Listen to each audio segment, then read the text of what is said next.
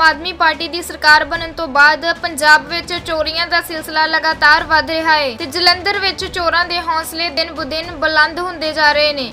ਅੱਜ ਸਵੇਰੇ ਹੀ ਜਲੰਧਰ ਦੇ ਰਾਮਾ ਮੰਡੀ ਰੋਡ ਤੇ ਸਥਿਤ ਅਗਰਵਾਲ ਦੀ ਹੱਟੀ ਤੇ ਚੋਰਾਂ ਨੇ ਚੋਰੀ ਦੀ ਵਾਰਦਾਤ ਨੂੰ ਅੰਜਾਮ ਦਿੰਦੇ ਹੋਏ ਦੁਕਾਨ ਦੇ ਸ਼ਟਰ ਦੇ ਤਾਲੇ ਤੋੜ ਕੇ ਕਰੀਬ 50000 ਦਾ ਸਮਾਨ ਚੋਰੀ ਕੀਤਾ ਤੇ ਇਸ ਵਾਰਦਾਤ ਨੂੰ ਰਾਤ ਦੇ 3 ਵਜੇ ਅੰਜਾਮ ਦਿੱਤਾ ਗਿਆ।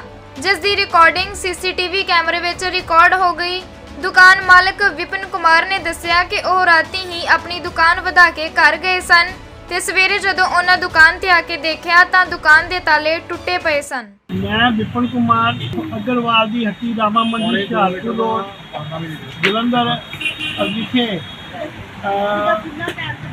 ਅਸੀਂ ਰਾਤ ਨੂੰ 2 ਤਰੀਕ 2 ਮਈ ਦਿਨ ਸੋਮਵਾਰ ਨੂੰ ਦੁਕਾਨ ਵਧਾ ਕੇ ਅਸੀਂ ਰਾਤੀ ਕੁ ਆਪਣੇ ਘਰ ਗਏ ਹਾਂ। ਤੇ ਸਵੇਰੇ ਦੁਕਾਨ ਤੇ ਜਦੋਂ 3 ਮਈ ਨੂੰ ਜਦੋਂ ਅਸੀਂ ਆਏ ਹਾਂ ਤੇ ਅਸੀਂ ਦੇਖਿਆ ਕਿ ਸਾਡੀ ਦੁਕਾਨ ਦੇ ਤਾਲੇ ਟੁੱਟੇ ਦੇ ਆ।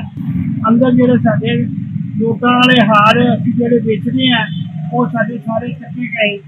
ਵਿੱਚ 50000 ਦੇ ਕਰੀਬ ਸਾਡਾ ਨੁਕਸਾਨ ਹੋਇਆ ਕੈਮਰਿਆਂ ਦੇ ਵਿੱਚ ਜਾ ਕੇ ਦੇਖਿਆ, ਦੋ ਸ਼ਖਸ ਆਏ ਆ, ਤਿੰਨ ਵੱਜ ਕੇ 43 ਮਿੰਟ ਦੇ ਅੰਦਰ ਗਏ ਆ ਔਰ ਸਫੇਦ ਐਕਟਿਵਾ ਤੇ ਆਏ ਆ। ਐਕਟਿਵਾ ਦਾ ਨੰਬਰ ਨਹੀਂ ਪੜਿਆ ਗਿਆ। 150 55 ਸਾਲ ਦਾ ਬੰਦਾ ਸੀਗਾ ਹਰੀ ਬੋਲ ਜੀ। ਇੱਕ 50 50 ਸਾਲ ਦਾ ਬੰਦਾ ਸੀਗਾ ਇੱਕ 45 ਸਾਲ ਦਾ ਬੰਦਾ ਸੀਗਾ। ਇੱਕ ਨੇ ਚਿੱਟੇ ਕੱਪੜੇ ਪਾਏ ਦੇ ਸੀ ਇੱਕ ਨੇ ਰੈੱਡ ਕਲਰ ਦੀ ਘਾੜੀ ਦਾ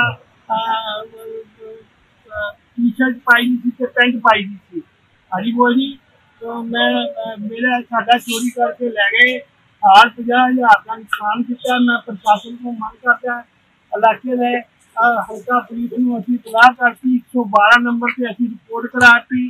ਔਰ ਅਸੀਂ ਇਹ ਗੱਲ ਪ੍ਰਸ਼ਾਸਨ ਤੋਂ ਮੰਗ ਕਰਦੇ ਹਾਂ ਸਾਡੇ ਨੁਕਸਾਨ ਦੀ ਭਰਪਾਈ ਕਰਵਾਈ ਜਾਏ ਔਰ ਅਗਾਂਹ ਤੋਂ ਦੋਸ਼ੀਆਂ ਤੇ ਨਿਗਾਹ ਰੱਖੀ ਜਾਏ। ਔਰ ਦੋਸ਼ੀਆਂ ਨੂੰ ਪਕੜਨਾ ਚਾਹੀਦਾ।